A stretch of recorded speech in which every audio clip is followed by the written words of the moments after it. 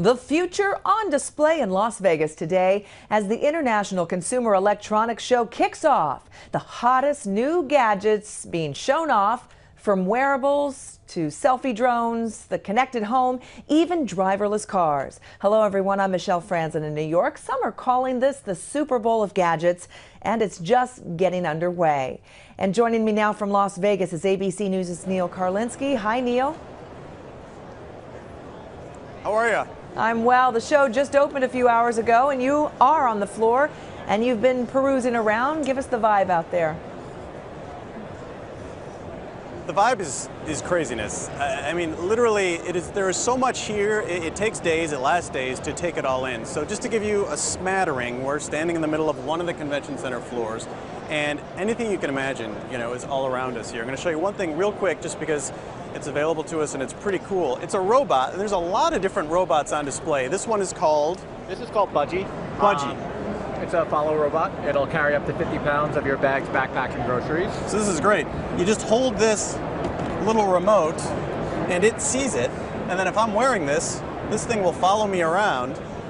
And so this is great because we've got a lot of gear. You throw some of the gear in the bag there and you go walking around and this budgee thing is is following you. Who's the market for this? Who do you think wants to buy? Uh, anybody who could use assistance. So the disabled, elderly, um, parents with a handful of kids. Coming uh, at you with it. Hang on, sorry. Sure. That's a great idea. And when do you want to bring this to market? Uh, we're looking to uh, ship our first units in March, so we're taking pre-orders now. Um, these are the final two prototypes before you see our production model in the real world. Good luck with it. Thank you. Thanks for stopping by. Pretty cool.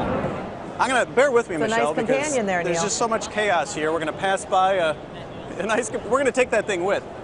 uh, there's all kinds of small robots here, and we have an opportunity, and I'm gonna jump in before we lose it to go into this, which is, this is a 3D scanner, right? Yeah, it's a full body 3D scanner. So I'm going to go in here. Sure. And which way do I face?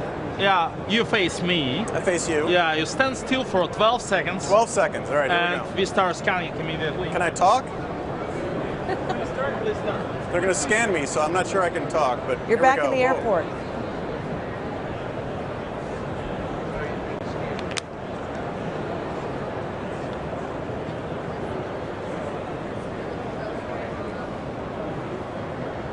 I don't know if I'm supposed to talk, but I'm, I'm going to do it anyway. And what is happening here is they took a 3D scan of me, Ready. and I'm done. Ready. I can can walk out. out, yeah. All right. And uh, that's going to turn into what a Neil action figure. Uh, it will be an action figure in six minutes. Uh, it will deliver a 3D replica of yourself, a 3D body model, which is immediately printable. So you can really, I mean, send it to a 3D printer and get a, a, a statue, a figurine. We call it a shapey. Shape here like a voodoo doll. You can. You know, well, not, it's not. it's not that soft. So, I mean, you, but you can use it for whatever application you want.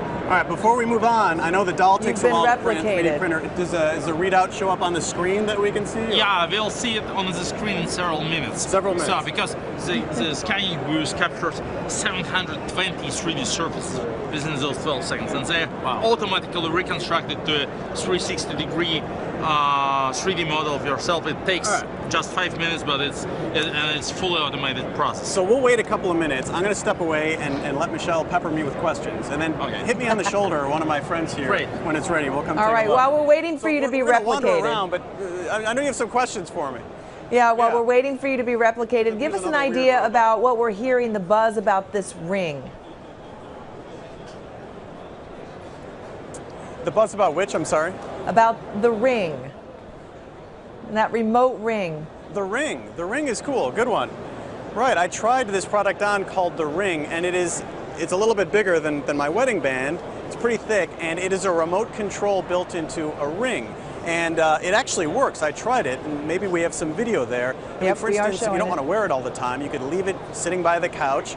You put that ring on your finger while you're by the couch, and then with various motions, waving your hand in the air, and you can customize what motions you feel comfortable with or are easy for you to remember. You can turn your lights on and off. You can make the volume go up and down, change the channel. Um, you know, a producer back in New York I was working with last night said it's like the clapper.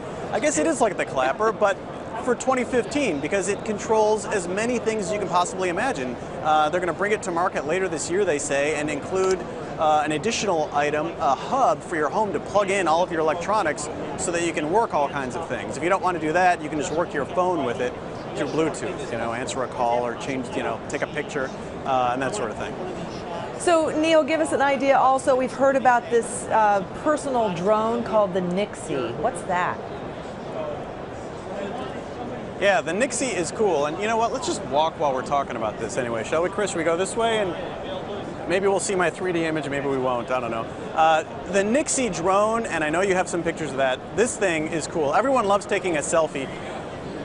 Maybe not everyone, but a lot of people like taking selfies. So this is a selfie drone, and you actually, we just saw it, and, and that video is coming later, but the video from the company you're seeing, you wear this drone on your wrist, believe it or not, and it's light and then it unsnaps from your wrist. You toss it out. They call it boomerang mode. It flies out just a few feet, takes a picture of you, wow. and then flies back, and you catch it.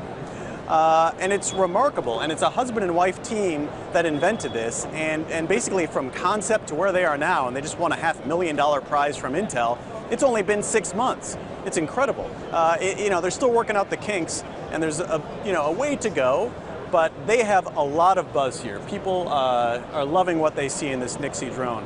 I'm just looking so, around. Neil, you're walking, walking the you're walking the floor here. A lot of people don't get a chance to do that. Consumers wait till these products come out.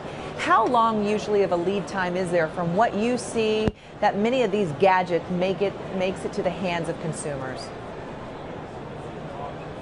You know, some of them, it, could be years. Some of them are in an incredibly short product cycle, like that Nixie drone. I mean, they designed it in six days, won a half million dollar award a short time later, and they're just six months in now. Some of these, you know, we're, we're in some of the larger companies here who are making things like connected washing machines, uh, even coffee makers we just passed, which actually uh, supposedly can, can read how well you slept and then make the coffee stronger or less strong based on that. So those big companies, big teams, long product cycle. But so, a lot of the people we're meeting, and we're bouncing around through a lot of people here, uh, are actually very small companies, just working out a shoestring budget with a handful of people, and they are doing things quick and fast, and, and just showing prototypes here. So we know you're not at a car show, but we see everything from the home to the car to the washing machine that you mentioned. Is this going to be the year that everything is integrated? It is. You know, they call it the Internet of Things, and, and, that is, you know, literally to have your light bulb and your coffee machine and your TV and, you know, you and your health data all connected via the web. And, you know, we did pass a car over there, and I know you mentioned cars because, you know, the Detroit Auto Show, traditionally the big one, going back God knows how long, uh, it's really overshadowed in some ways by the Consumer Electronics Show. A lot of the big automotive manufacturers are here. Mercedes-Benz last night, Toyota yesterday, showing new hydrogen fuel cell cars. You know, forget electric, they're moving on to a completely new fuel cell, hydrogen, and betting on that for the future. Self-driving cars, also huge. Audi has driven from San Francisco here to Las Vegas a self-driving car. They say it's production ready, ready to go, not an experimental thing, just needs the laws essentially to catch up with it so that you can buy one of these. Uh, and this is a self-driving car that they say can operate fully on its own on the highway, pass cars, move around, navigate, and then alert you, the driver, to take over when in an urban area uh, where obviously, you know, there's a lot more traffic, people, stop signs, kids. Uh, and if you don't take over, by the way, they say it will pull over and turn off on its own. Well, we thank you very much for that tour you're giving us, and I oh. hope you get your replication, your 3D model of Neil Karlinsky. The, so the three. the 3D guy just ran up to, to, to grab us. I don't know if we're going to have time. Is it ready? Yes, yes. Do you have time? We got time. Let's go see it. All right, we have time. Where are we? Where is it? It's this way. All right, here we go. Come on, we got to hurry. Thank you. We'll be quick because we're, uh, we're running out of airtime here. I mean, you can get a sense following me here. There's, there's a woman standing here. I don't know what she is showing off. There's all kinds of things. Oh, here's my 3D model. I'm not in the showcase with the dolls yet. Look at that. That's the finished product. But there's me. Yeah, it's no texture. Oh yeah. Oh, there I am. There's my my backside. Soon to become How about the front? a figure, correct? Yeah, I mean, look at that. I look, I look like a goofball, but I guess that's the way I look. Okay, so Neil, I'll take the ring. Boy, who wants? There's going to be a big market for this. the ring, the immediately selfie printable watch. now. So I mean, you can now convert it to a figurine like this. So the, Whoa, the that looks weird. Zoom out. Oh, my face looks incredibly weird. Oh, All right, we'll, we'll bring you back a couple of rings and a selfie watch, and then. And some- you can some- officially be in two Neil places at once on the now. Desk, maybe. exactly. Exactly. All right. We need more. Have fun, Neil. Thank you. You can keep up with this story in real time by downloading the ABC News app and starring the story for exclusive updates on the go. For now, I'm Michelle Franzen in New York.